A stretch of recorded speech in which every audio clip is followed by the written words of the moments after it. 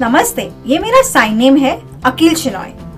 मैं आईएसएच में काम करता हूँ। आज मैं एक बहुत ही प्रसिद्ध व्यक्ति का इंटरव्यू कर रहा हूँ, जो गैलेटेड विश्वविद्यालय में काम करती है। गैलेटेड विश्वविद्यालय क्या है? खैर, देख लीजिए।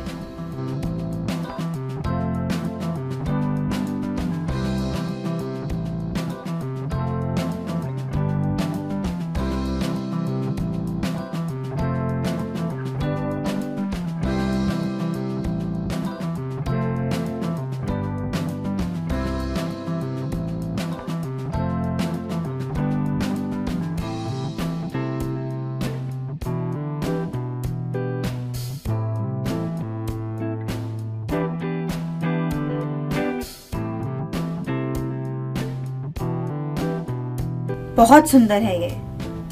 इस इंटरव्यू में मेरे तीन उद्देश्य हैं। एक डेफ व्यक्तियों को आत्मनिरीक्षण करना और उनका आत्मविश्वास बढ़ाना। दूसरा, सुनने वाले माता पिता को अपने डेफ बच्चों को प्रोत्साहित करने के तरीके दिखाना। और तीसरा, भारत सरकार को डेफ के लिए व्यवस्था में सुधार करने के लिए अवगत कराना। आज के इंटरव्यू का यही लक्ष्य है। अब मैं जिस व्यक्ति का इंटरव्यू लेने जा रहा हूँ, वो बहुत महत्वपूर्ण व्यक्ति है। ये उनका साइन नेम है। वह गैलेडेड विश्वविद्यालय में डीन के रूप में काम करती है। डीन से आप क्या समझते हैं? सबसे ऊपर का पद अध्यक्ष का होता है, जिसके नीचे प्रोवोस्ट होता है और उसके बाद डीन होता है। डीन गैलेडेड में टीचर्स और स्टाफ के प्रबंधन के लिए जिम्मेदार होता है।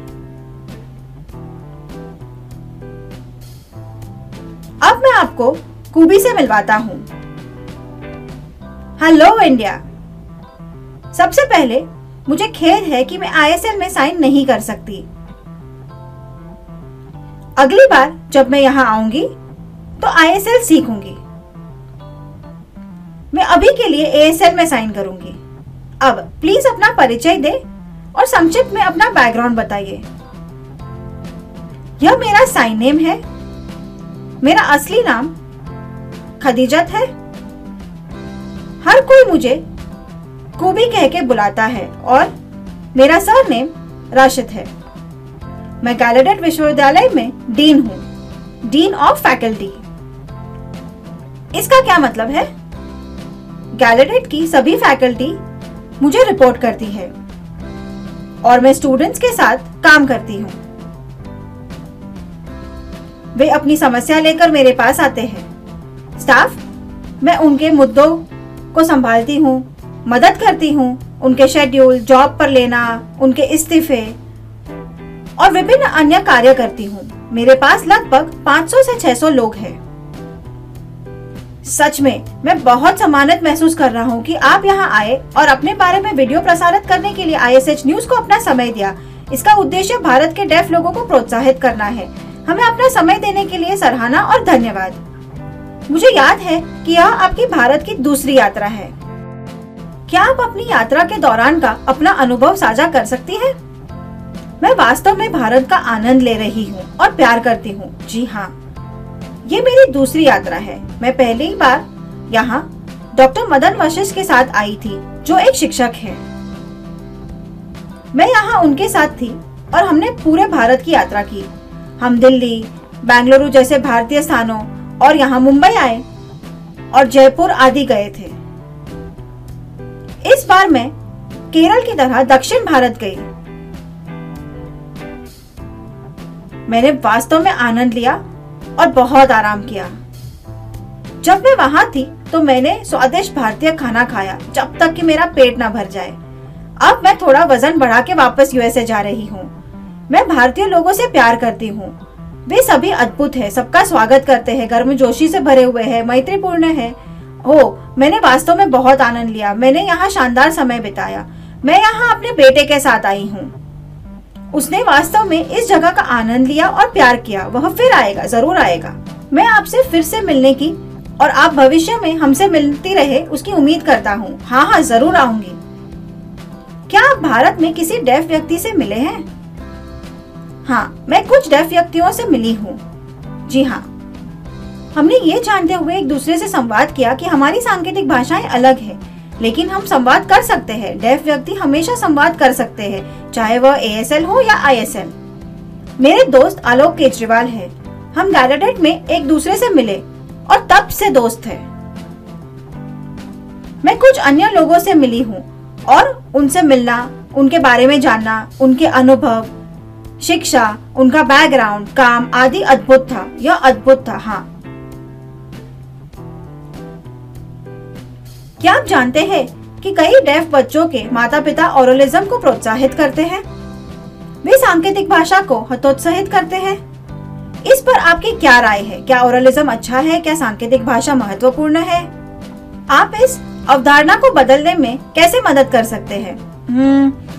ओरलिज्म हम्म, मेरे विचार से मैं समझती हूँ कि जब डेफ बच्चे पैदा होते हैं तो माता पिता बहुत चिंतित हो जाते हैं।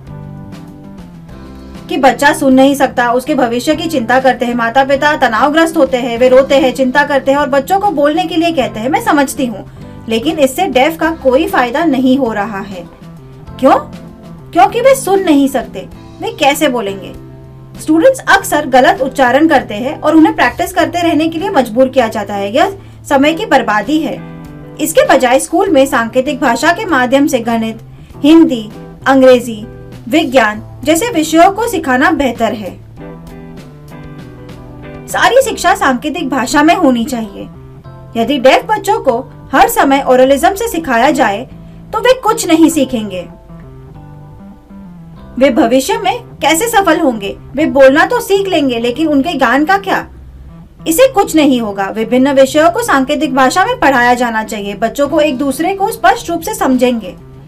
अगर वे बोलना जारी रखते हैं तो सुनने वाले लोग उनकी आवाज़ के लिए उनको जज करेंगे। क्यों? क्योंकि वे डेफ होने के कारण अच्छा नहीं बोलते हैं। उनका दूसरा मुद्दा यह है कि डेफ के साथ सांकेतिक भाषा में संवाद करने में असमर्थ है। वे सुनने वाले के साथ भी संवाद नहीं कर पाते। तो ये बर्बादी है। थोड़ा ओरलिज्म के साथ सांकेतिक भाषा ठीक है। मैं इसकी पूरी तरह खिलाफ नहीं हूँ। लेकिन डेफ के लिए सांकेतिक भाषा बचपन से ही बेहतर होती है। अमेरिका में कई सुनने वाले माता पिता भी बच्चों को सांकेतिक भाषा सिखाते हैं, क्योंकि यह संचार का सबसे अच्छा तरीका है।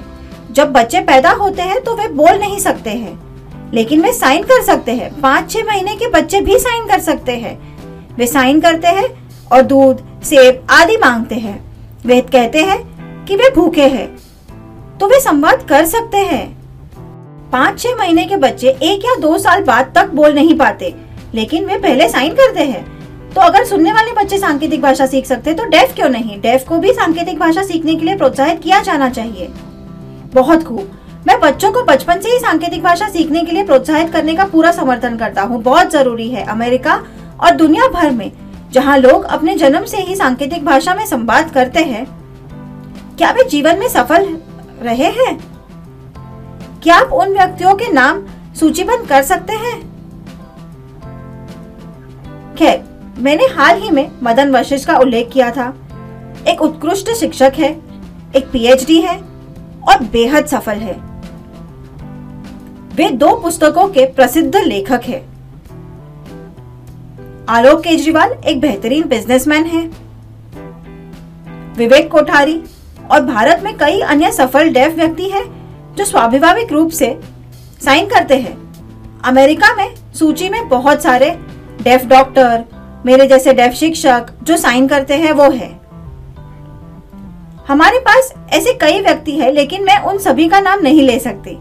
भारत, अमेरिका और दुनिया भर में सफल डेफ लोग हैं, जिन्होंने सांकेतिक भाषा में संचार किया है। इसका मतलब है कि सांकेतिक भाषा महत्वपूर्ण है। जब डेफ बच्चे साइन करते हैं तो उन्हें भाषा का ज्ञान होता है और उन्हें बहादुर और आत्मविश्वासी बनने में मदद मिलती है। फिर भविष्य में वो चुनौतियों से अपना नाश्ता निकाल सकते हैं और सफल हो सकते हैं। सही है ना? यह सांकेतिक भाषा सीखने के महत्व को इंगित करता है। और मुझे लगता है कि भारत में भी मैंने कई लोगों को दुकानों में बातचीत करते समय इशारों का उपयोग करते हुए देखा है। यह सांकेतिक भाषा है। यह ऐसे ही होता है। यह केवल डेफ के लिए नहीं, सुनने वाले के लिए भी है। दुकानदारों से बात करते समय लोग चीज़ों की कीमत जानने के लिए इशारे का प्रयोग करते हैं। यह सांकेतिक भाषा है। याद रखें, क्योंकि सांकेतिक भाषा हर जगह है। मैं सुनने वाले लोगों को इसे सीखने के लिए प्रोत्साहित करना चाहता हूँ और डेफ समुदाय के साथ हाथ मिलाने के लिए कहना चाहता हूँ। एक डेफ व्यक्ति होने के नाते मैंने पूरे यूरोप की यात्रा की है। मैंने हमेशा डेफ व्यक्तियों को साइन करते देखा और मैंने उनके साथ संवाद किया।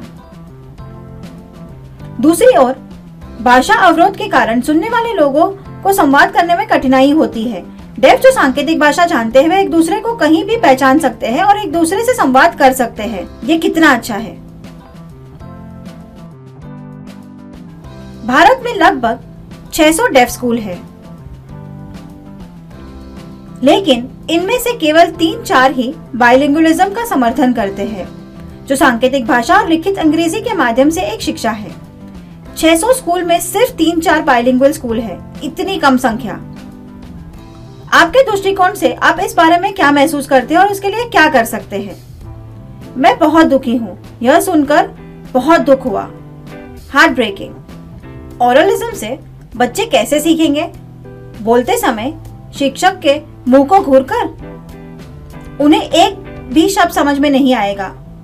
वह कुछ नहीं समझेंगे। जब शिक्षक इतिहास पढ़ाते हैं और गांधी के बारे में बात करते हैं तो स्टूडेंट्स केवल उनके चेहरे पर नज़र रखेंगे। स्टूडेंट्स को कुछ भी पता नहीं चलेगा कि वह कौन है।